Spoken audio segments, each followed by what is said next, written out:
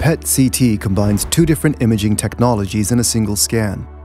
Positron emission tomography, or PET for short, and computed tomography, or CT. Together, they result in a highly sensitive test that allows physiological changes to be precisely localized and evaluated at an early stage. PET measures the body's biological processes.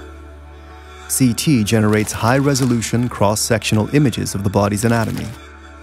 By combining both sets of information into a single, three-dimensional image, metabolic processes are mapped precisely and in all spatial dimensions. This helps to reveal the patient's condition at a very early stage.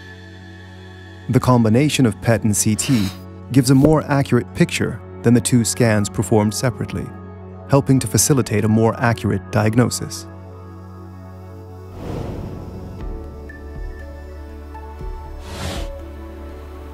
Physicians use PET-CT scans to aid in the detection of tumors and metastasis.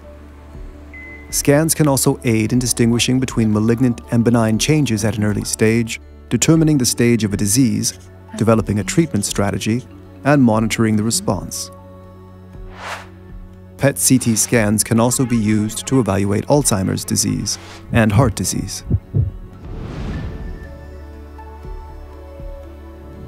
Metabolic activity is measured using so-called PET tracers.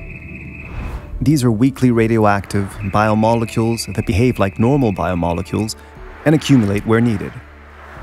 The PET scanner records an image of the tracer distribution as it collects in areas of higher metabolic activity, similar to cars gathering in a parking lot.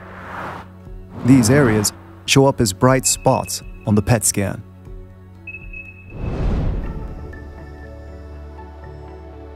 In principle, any biomolecule can be a tracer. Most often, however, radioactive labeled glucose is used, so-called 18F-FDG, which accumulates in tissues and organs with a high energy demand. Since the tracer decays quickly, it must be prepared anew before each examination.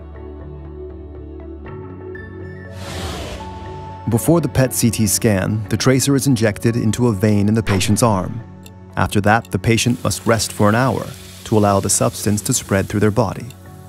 Then the examination takes place. CT uses X-rays and images multiple layers of the body in succession. The PET scan registers the decay of the tracer by means of the gamma rays emitted. A fused image is created from the dataset.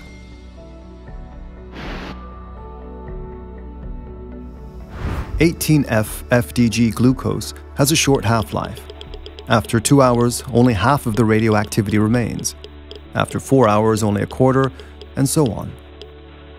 The radiation dose from the two examinations corresponds, on average, to the annual natural background radiation to which every individual is exposed.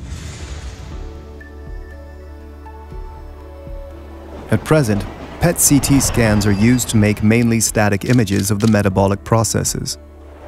The future will be dynamic imaging that captures and quantifies the metabolic processes over time. This will give physicians additional information to be able to diagnose, stage, treat, and monitor disease more effectively.